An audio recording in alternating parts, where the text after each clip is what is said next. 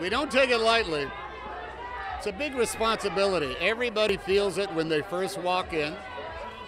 See what's up. They used to. Um, they used to lay it out for us. There was a script to read. Uh, there was an animatic to watch. But we realize, they realize it. It's really, it's, it's really a story that is in flux for about the three and a half years that you spend making it.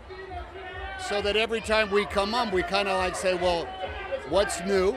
You know, what, you, what are you going to spring on us now? Uh, but also, it always comes down to this relationship between between us, with the microphone right there, and our uh, our memories and our interpretation of everything the characters have been through. I feel uh, I feel like the, the toughest the toughest job were the folks who are walking in for the first time. You know, Tim and I and uh, and Annie, uh, we all we all have a lot of muscle memory that's based on being in being in those studios with those microphones, and so we uh, we kind of are able to go into a trance. I think like Keegan and Christina and Keanu there and Tony, they're all asking, "Have I done this right?" is will Forky remain in the movie? And I think, yeah, we'll be fine. You'll be, you'll, you've done, you've done well.